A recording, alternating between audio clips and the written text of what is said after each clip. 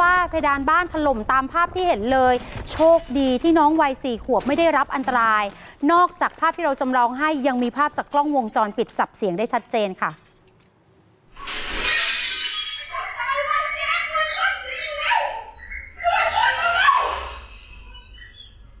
เป็นอะไรอะ โอ๊ยแกทำไมไม่ระวังนะแกอย่าพึ่งไปลูกปิดปิดแกเลยแกระเบิดอุ้ยมึงโยนน้ำมาลาดเลย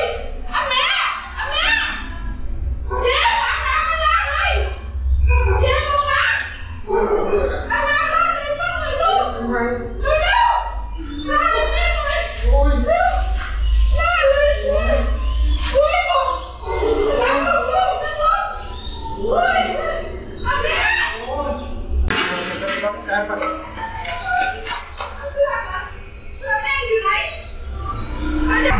้านฝั่งตรงข้ามค่ะ เรียก คนที่เป็นสามีของบ้านหลังนี้มาแล้วก็รีบมาเห็นไหมคะ มารับตัวผู้ได้รับบาดเจ็บคือคุณดุษฎีอายุ 22 ปี พาไปโรงพยาบาล เพราะว่าเธอเนี่ยถูกไฟนะคะ รวมถึงความร้อนจากน้ำมันที่ทอดไก่ทอดอยู่ในขณะนั้น ลวกทั้งตัวทั้งใบหน้าและลำตัว อาการของเธอบาดเจ็บสาหัส เด็กน้อยวัย 4 เดือนที่คุณผู้ชมเห็นภาพจากกล้องวงจรปิดที่เราชี้สอนเนี่ยโชคดีน้องไม่เป็นอะไร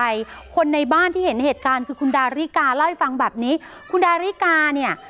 นั่งขายของอยู่หน้าบ้าน แล้วบอกว่าหลานสะพ้ยตัวเองกำลังทอดไก่ทอดให้หลานกิน หลังจากนั้นได้ยินเสียงดังตุ้ม เธอนึกว่ายางรถระเบิดแถวนั้น ปรากฏว่าได้ยินเสียงกรีดร้องแล้วเสียงกระจกเนี่ยเห็นไหมมันระเบิดสะเทือนทั้งฝ้า ทั้งกระจกร่วงลงมาแบบนี้เลย เธอตกใจเพราะว่าหลานสี่ขวสี่เดือน